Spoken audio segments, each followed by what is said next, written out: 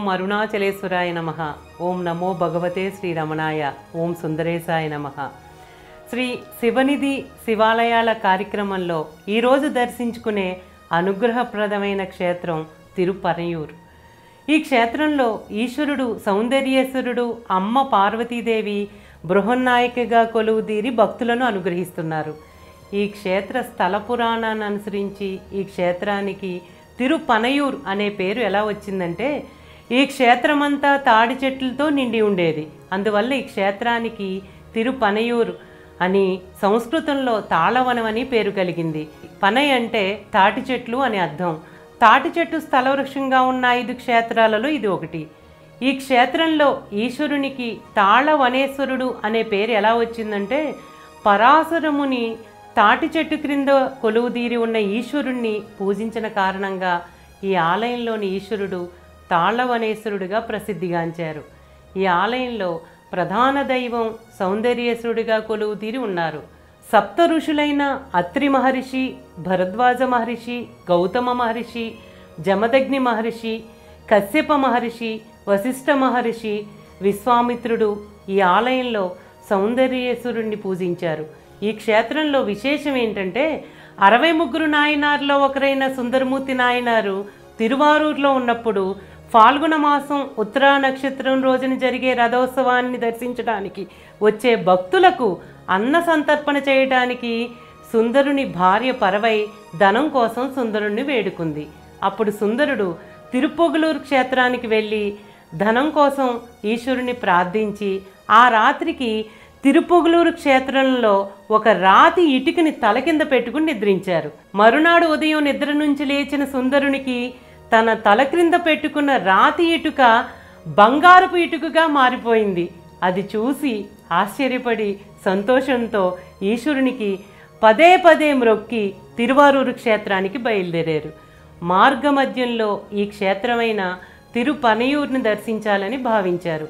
తిరుపనయూరు క్షేత్ర దర్శనానికి వచ్చిన సుందరునికి గ్రామ పొలిమేరలోనే ఈశ్వరుడు తాండవ దర్శనాన్ని అనుగ్రహించారు. ఈ క్షేత్రానికి ఈశాన్యంలో మాణిక్యనాచార్ తిట్టు అనే ప్రదేశం దగ్గర ఉన్న సన్నిత తీర్థం అని పిలువబడే ప్రదేశంలో ఈశ్వరుడు సుందరుల కలయికకు ప్రతీకగా చెబుతారు.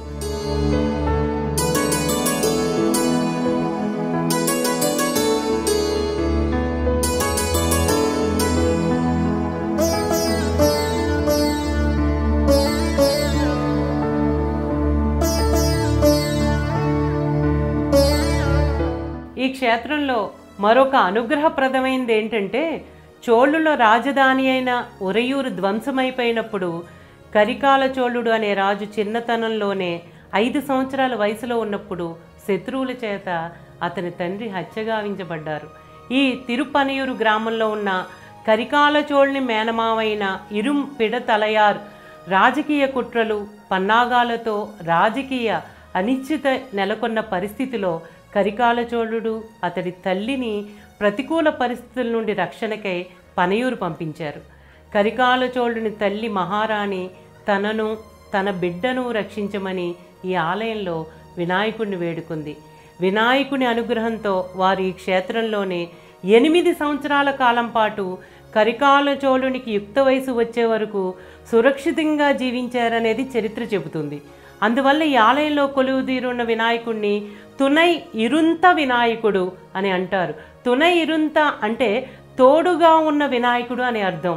కరికాల చోళుడు ఈ ఆలయంలో ఉన్నప్పుడు యుద్ధంలో ప్రావీణ్యత సంపాదించారు. ఒకసారి కరికాల చోళుడు ఒక తాటి చెట్టు నీడలో నిలబడి ఉండగా చోళ రాచరికపు భద్రగజం అతన్ని తమ మహారాజుగా గుర్తించి మెడలో పూలమాలను వేసి అంతఃపురానికి తీసుకువెళ్ళింది.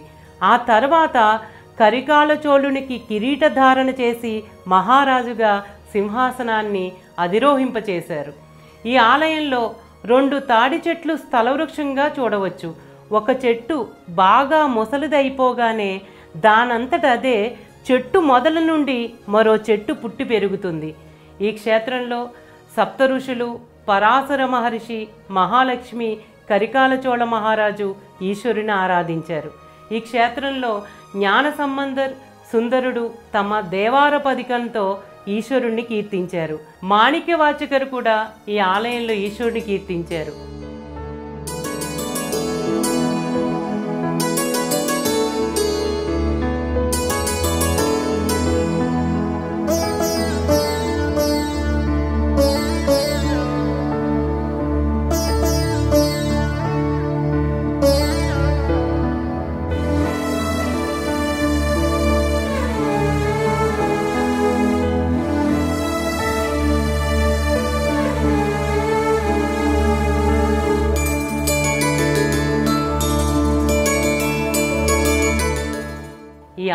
చరిత్ర ఏంటంటే ఈ ఆలయంలో అనేకానేక శిలాశాసనాలు ఉన్నప్పటికీ పద్నాలుగు శిలాశాసనాలు మాత్రమే లభ్యమయ్యాయి.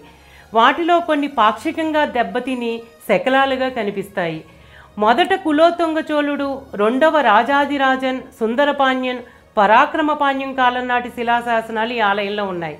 ఈ ఆలయంలో లభ్యమైన ఒక శిలాశాసనం ప్రకారం ఈ ప్రదేశాన్ని రాజేంద్ర చోళ పనయార్ అని పిలుస్తారు.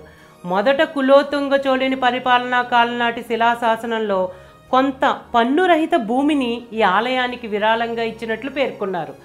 విరాళంగా ఇచ్చిన భూమితో పాటు ఆరు కాసులను స్వీకరించి వాటితో ఐదు కుండలు వండిన అన్నాన్ని శివయోగులకు నైవేద్యంగా సమర్పించేవారు.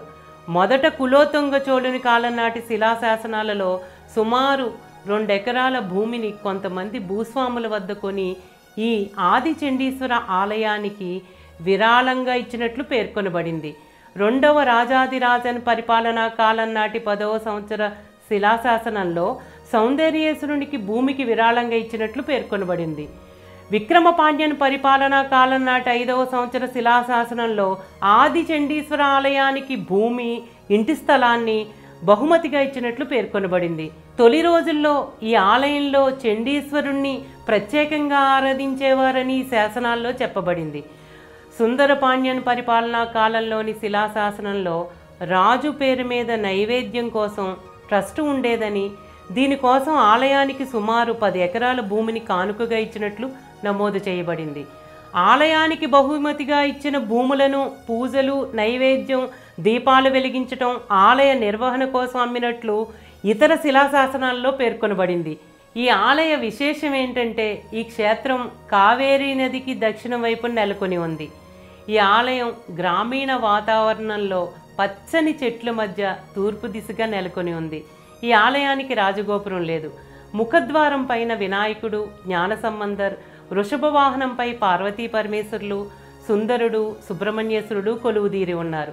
ప్రాకారంలోకి ప్రవేశించగానే కుడివైపున బృహన్నాయికి అమ్మవారి ఆలయం నెలకొని ఉంది. ఈ అమ్మవారి ఆలయానికి ముందు కరికాల చోళునికి సహాయపడిన వినాయకుని సన్నిధి ఆ వెనకే స్థలవృక్షమైన తాటి చెట్టు ఉంది.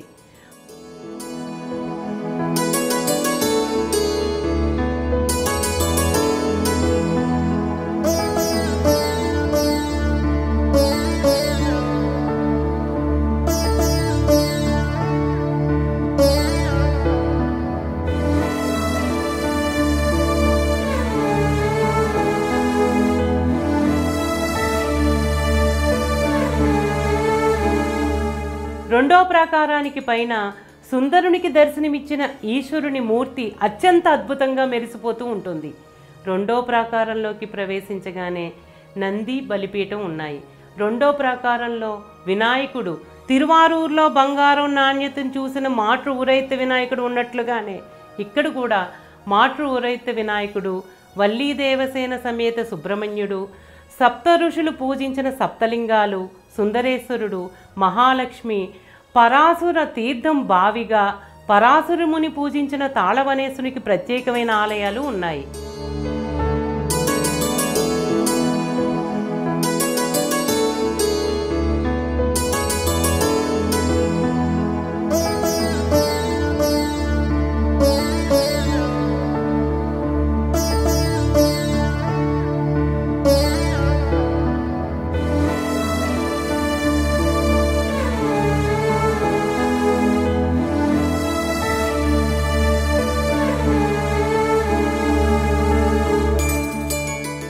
అన్ని క్షేత్రాలు దర్శించుకుంటాం. అది ఫేమస్ అయిన రోడ్డుకి ఇరుపక్కల ఉన్నవి ఎవరైనా చెప్తారు. ఈ క్షేత్రానికి రావడం కూడా ఎంతో కష్టం. ఈ క్షేత్రానికి వచ్చిన తర్వాత ఆయన దర్శనం అవ్వాలన్నా కూడా ఎంతో అనుగ్రహం కావాలి.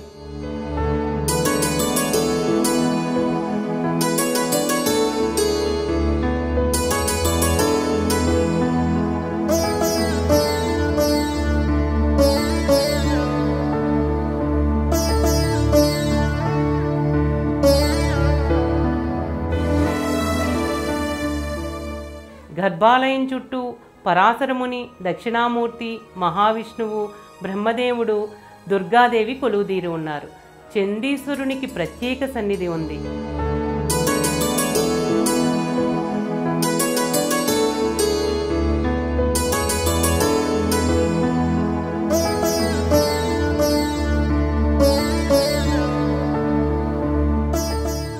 వవ్వల్నేతి మండపంలో వృషభ వాహనంపై పార్వతీ పరమేశ్వరులు కొలువుదీరి ఉండగా సప్త ఋషులు ఆ దర్శనాన్ని చూసి నమస్కరించున్నట్లుగా సుందరుడు తిరుపొగులూరు నుండి వస్తున్న చరిత్ర కరికాలను చోళుని చరిత్ర జ్ఞాన సంబంధర్ అప్పర్ సుందరుడు మాణిక్యవాచకర్లు వర్ణ చిత్రాలు భక్తులకు ఆలయ స్థల పురాణాన్ని చరిత్రను మరింత బలపరుస్తున్నాయి. అర్ధమండపం ముందు ఇరువైపులా ద్వారపాలకులు వినాయకుణ్ణి దర్శించుకోవచ్చు. అర్ధమండపంలో జ్ఞాన సంబంధర్ అప్పర్ సుందరర్ మాణికవాచకర్ల సన్నిధి ప్రత్యేకంగా ఉంది. గర్భాలయంలో సౌందర్యనాథుడు చతురస్రాకారపు పానపట్టం పైన కొలువుదీరి భక్తులను అనుగ్రహిస్తున్నారు.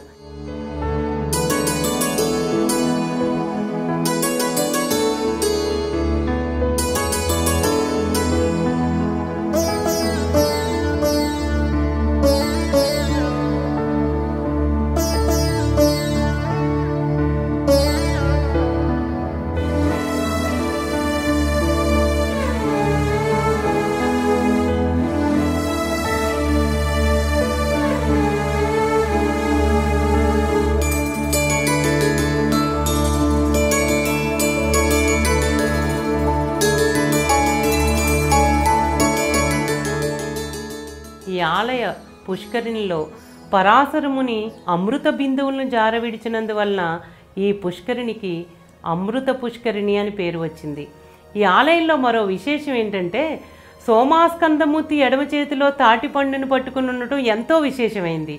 ఈ ఆలయంలో అనుగ్రహ విశేషం ఏంటంటే భక్తులు తమ కోరికలు తీరడానికి సౌందర్యనాథుడిని అభిషేకించి అమ్మవారికి వస్త్రాలను సమర్పిస్తారు.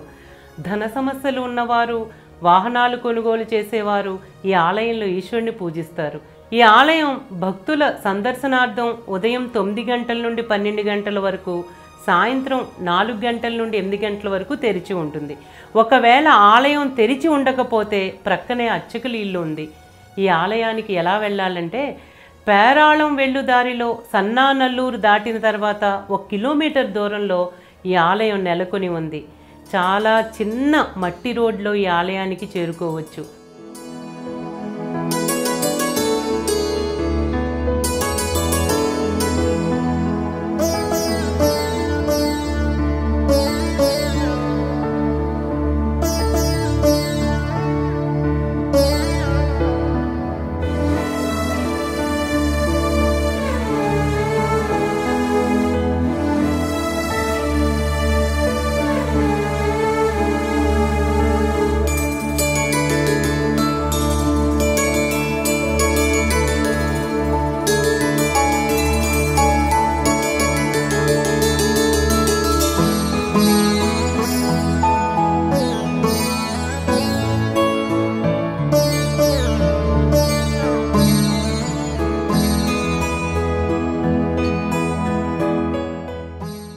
ఆలయంలోని సౌందర్యనాథుడు అమ్మ బృహన్నాయికి అనుగ్రహం మనందరిపై ఉండాలని కోరుకుంటూ ఓం నమో భగవతే శ్రీరమణాయ ఓం అరుణాచలేశ్వరాయ నమ ఓం సుందరేశాయ నమః.